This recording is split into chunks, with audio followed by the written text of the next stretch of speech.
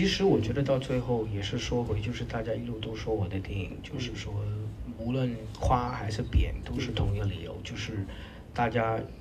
有些是我觉得我电影就是它永远找到一个平衡，就是在市场、观众、大众的口味跟个人的口味，跟就是所谓文艺或者艺术一点的怎么样去平衡？那平衡的过程就是说，你怎么跟观众去沟通，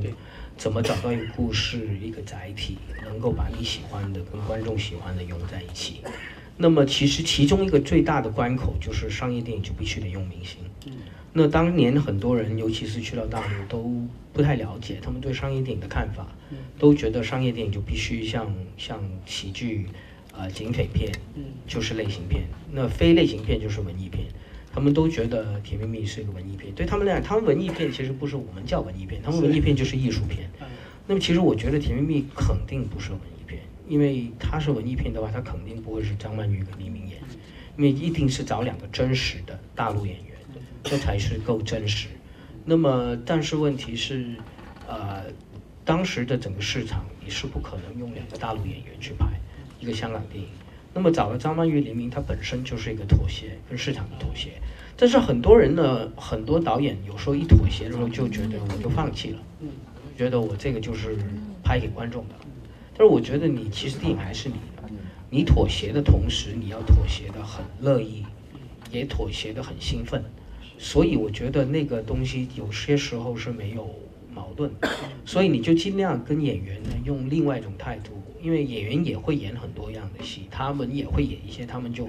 啊，我们广东人叫交行货的，就基本上就只知道这样就行的的商业片。但是当你真心的拍一个东西，大家有一个共同的目标，他们也会把它演得更好。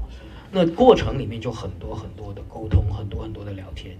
那么聊完之后呢，大家都在角色里面找到了一个自己的共通点，跟那个角色共通点。然后他们就会有跟别的电影不一样的表现。嗯，那其实听起来好像很简单，但是过程可能很复杂。嗯，那《甜蜜蜜》里面就是找到了张曼玉之后，是跟她聊了好几天。嗯就是她决定演不演之前聊过很久，决定演之后还聊了几天，是从早聊到晚上。那么